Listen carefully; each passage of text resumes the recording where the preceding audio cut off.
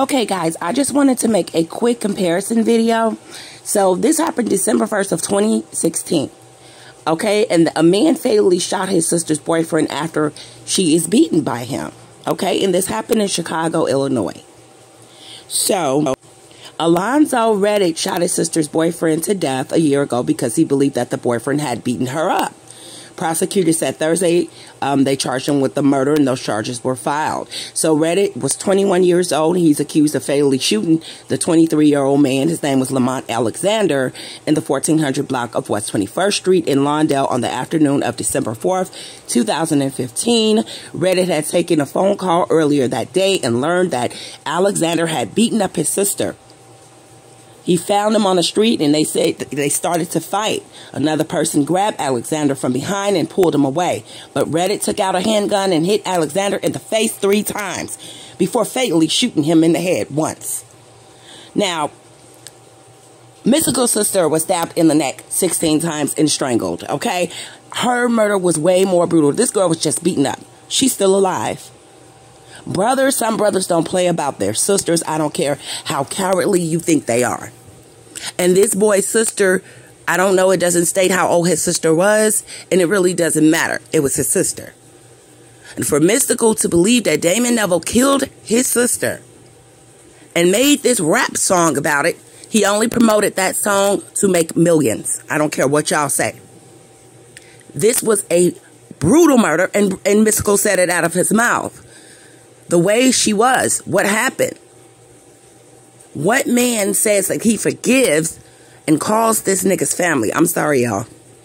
So y'all can keep saying, I don't know what I'm talking about. And, um, you know, I'm making up stuff or whatever y'all want to say in the comment section. Tanya Thompson, thank you, baby, for supporting me. One of my another good subscribers. Once I'm able to go live, you and Shatavia will be my moderators. And we're going to get the trolls up out of here. Now, I made this little video because I have to go to work to show you guys just how real it is. Mystikal sounds so real on Murderer. I really felt him when I first heard the song and really was able to listen to it and understand how men are killing their girlfriends and husbands kill their girlfriends, how brothers feel. The song and what we see today, and this is another thing. Why is Mystikal coming out now? Now, I'm not saying that he's coming out because Vlad interviewed him. Vlad brought the question up. Mystikal did not, you know, just bring it out himself. But however, he did an interview with Unsung. And these are just the things that I'm pointing out, guys. Mystikal story has changed, including Murderer. It's in black and white. It's, it's, it's a song. What he's saying in the song, what he said on Vlad TV, and what he said on Unsung in these interviews do not match up.